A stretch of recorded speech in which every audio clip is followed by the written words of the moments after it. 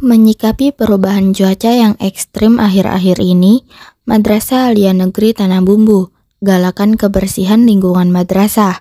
Rabu, 10 Mei 2023 di lingkungan madrasah. Kegiatan preventif ini perlu dilakukan guna menjaga lingkungan agar tetap bersih dan sehat.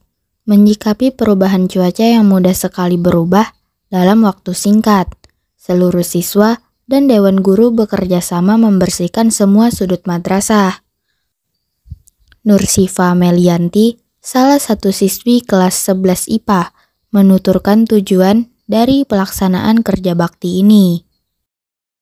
Jelang pelaksanaan PAT, kami bersama-sama membersihkan lingkungan madrasah.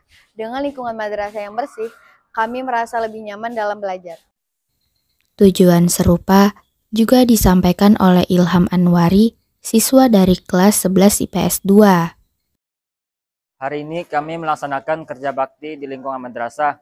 Tujuannya untuk menjaga kebersihan, terlebih di saat-saat perubahan cuaca ekstrim seperti saat ini. Kegiatan Rabu Bersih merupakan salah satu pembiasaan mingguan yang dilaksanakan di Mantana Bumbu, guna melatih siswa agar peduli terhadap masalah lingkungan, sehingga harapannya bisa menjadi bekal bagi para siswa saat hidup di lingkungan masyarakat. Setelah kegiatan bersih lingkungan usai, para siswa kembali belajar di kelas masing-masing sesuai dengan jadwal yang ada. Sedangkan penilaian akhir tahun di Mantanah Bumbu rencananya akan dimulai pada akhir bulan ini.